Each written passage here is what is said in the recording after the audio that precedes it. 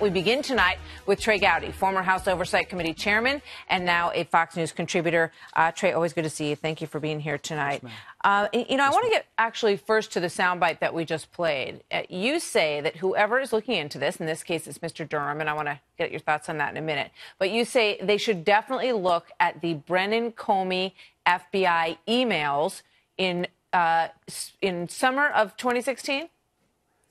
Uh, December of 2016. December 2016 uh, you. you know, over the weekend, Senator Graham has uh, really, really um, exercised over the lack of corroboration of this dossier that was used in court filings.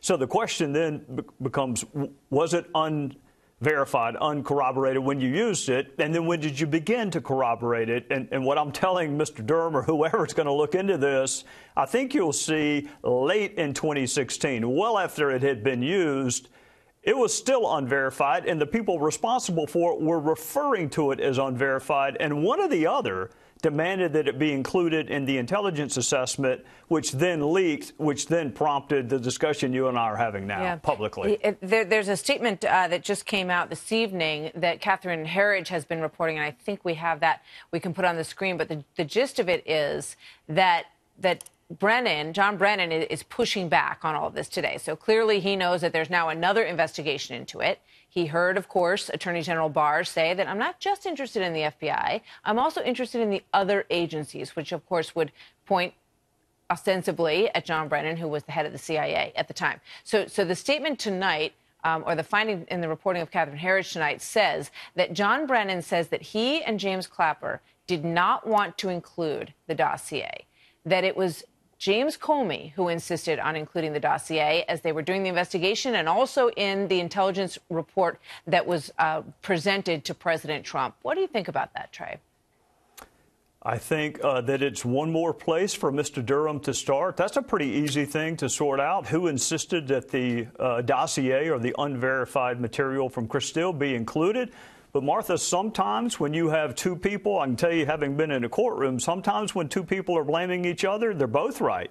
Uh, it's both of them. Um, and I think it's interesting. Brennan and Comey right now, the only thing they seem to share is a hatred for Donald Trump. It's going to be interesting if they begin to turn on one another. I've seen the document. I'm not going to describe it any more than that.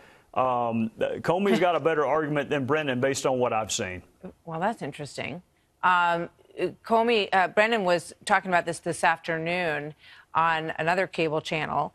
And he, you know, he's very defensive, obviously, about the need for any further investigation here. Um, and here's what he said about what, what they were what they were doing, what they were looking into. I think they're just trying to, you know, demonstrate that there was, um, you know, problems with what the Obama administration did as far as as it pursued this investigation. But as you point out, it went through a rigorous due process within the Department of Justice, the FBI. It was approved by the FISA court. It went through all of those steps. You know, the other thing that, that they made uh, that they were emphatic about in that interview was that the FISA court has an extremely high bar. They said there's no way that they would have approved any wiretap, any you know surveillance of Carter Page if they didn't have that whole thing down cold. They say they don't just approve these things willy nilly. We've heard differently that they that the bar is actually quite low for approving them. What do you say? Well, the judges are not investigators. They're only as good as the information presented to them, which is why you make the applicant swear out. You, swear out an application. And, and when the FBI is telling you that this information's been verified, and when they're telling you it's been investigated and it's been corroborated, the judge has to rely on that. They don't get to go conduct their own separate investigations, which is why it's really important to ask the FBI agents and Comey if you verified this information before its use, which we know you did not, but if your position is you did, tell us how.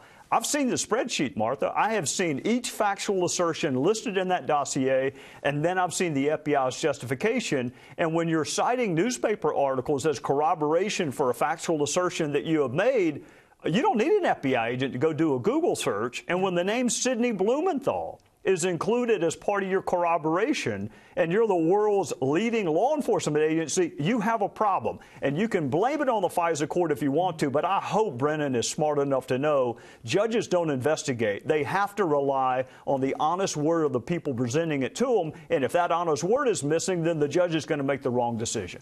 All right. Uh, th- there's another report tonight coming in from the New York Times, uh, which suggests, uh, you know, citing sources that are close to Mr. Durham or the Department of Justice or both, uh, that this is just a review. That he's just going to look over the Mueller report and he's going to figure out whether or not there needs to be an investigation. Now, my understanding, and I want to hear what you think about this, is that the reason that they that the DOJ wanted to have a U.S. attorney look into this is because they actually have prosecutorial power. They might be able to actually get to the bottom of this if there is indeed some sort of criminal behavior, and you know that, that that's way off at this point. The other difference is that unlike an uh, an inspector general at an agency, they can look at people who used to work there not just people who work there. Is that accurate?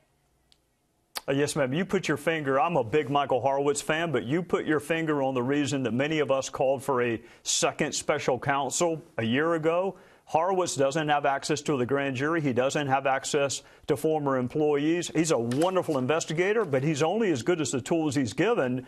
Durham has access to a grand jury and he has access to search warrants and he has access to subpoenas and he's got access to any witness he wants to talk to. So that's your A number one investigation. But, you know, Horowitz yeah. is the one who found the Strzok Page text and Horowitz is the one who dinged that's Jim right. Comey for that press conference. So the more the merrier. I just, it's been two years now, and I think the country would like to know from someone they can trust what was the factual predicate, not for the Russia investigation, but for the intermelding of the Russia investigation with the Trump campaign? Give us the factual predicate, and we'll decide whether or not it was sufficient or not. Trey, thank you very much. Trey Gowdy, good to see you tonight, yes, sir.